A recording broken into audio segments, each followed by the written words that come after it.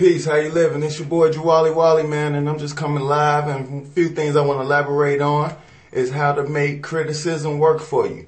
And I understand obstacles is being placed in our way, and those obstacles is just really to see that what you really want are you willing to go hard for? Is you willing to fight for? And as for me, yes, I am. And instead of me avoiding criticism, I actually make criticism work for me because I understand communication is a class that no one graduates from. And the reason why I say that because the wisest man in the world, his words can still be misinterpreted by a fool. All I'm saying is do something is better than being busy doing nothing. So don't waste your time trying to explain who you are, what your goals is, what your road to success are. If that individual don't have the best intentions or able to see visually your dreams and your passions, then save your energy, save your breath.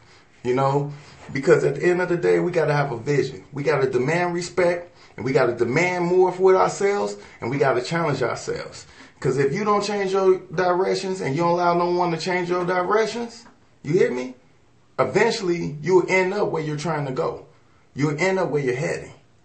Because at the end of the day, it's simple, easy being yourself. Don't try to compete and don't try to uh, uh, compare yourself to anybody. Because everybody will respect you once you do that. But if they hate on you, that's a good enough reason to give them a reason to hate.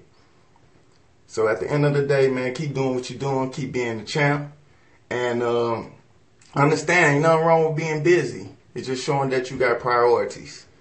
And um, like the John Henrik Clarke say, man, only debate with my equals. All others I teach. I'ma holla at y'all, man. This your young scholar, 103, Jwali Wali. I holla. Peace. Good morning, y'all.